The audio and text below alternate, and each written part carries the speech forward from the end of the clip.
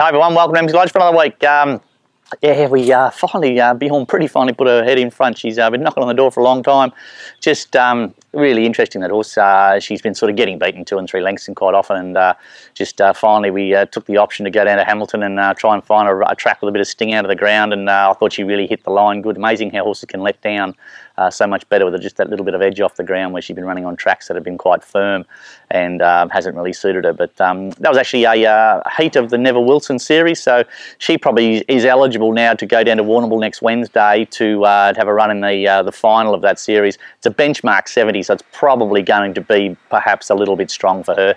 Um, we, but we might have to find a, um, we'll, we'll, put her in the race and see how it is, but um, she can probably be paced a little bit better than that and might be a lesser grade uh, um, and see how she goes there. But um, anyway, good to get a result and well done to the owners. They've been very, very patient. I tell you, also it's a, had 20 starts for only one, one win's always difficult, but uh, she's had a couple of wins now and she can put another one together before uh, while the winter's around. Uh, be a good result.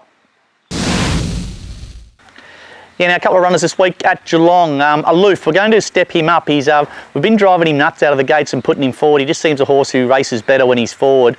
Um, but they, um, you know, 11 and 1200 metre races, there's always been that real lot of early pressure. So we're just going to take him up to the 1500 where he should be able to bounce and just sort of spend nothing early um, and then have a good kick late. So it's just a bit of an experiment with him. Um, he certainly, in his work, he looks, he seems like a 14, 1600 metre horse. So hopefully that'll work out really well. Um, I suppose we'll find out. We're going to be geniuses or mugs on Sunday. But horse is in good nick, very sound, healthy horse that horse, so um, uh, he gets his chance there.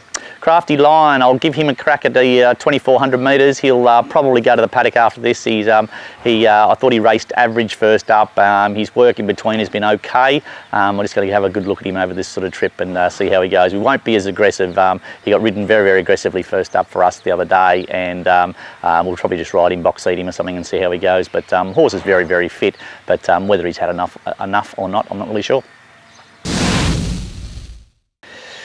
Yeah, now uh, obviously the Warrnambool Carnival this weekend, probably going to have two runners. Anacreon went really good the other day, um, rode her differently and uh, kicked her out and put her forward rather than riding her back off the speed.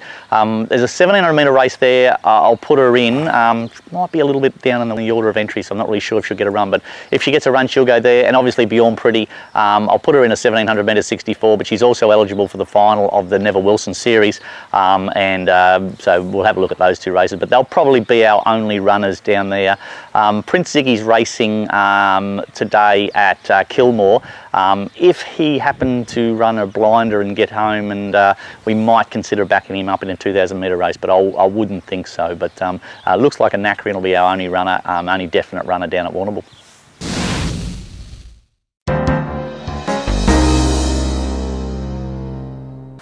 G'day guys, uh, welcome to Around the Stables. Uh, unfortunately our horse from last week, uh, Lorenzetti, he uh, lost the rider. The horse in front of him looked like it was going to kick up and uh, he'd come across for a nice bit of cover but uh, it sort of sat back in his lap and he just clipped heels with it. but fortunately enough, both horse, rider are fine. Um, and certainly as far as the horse goes, he's still eating his head off and he's bright as a button and still jumping around being usual Zeddy. So, um, but unfortunately that's racing. Um, that's the way it goes sometimes, so you can have everything set up for a couple of years. But uh, anyway, we'll, uh, we'll live to fight another day.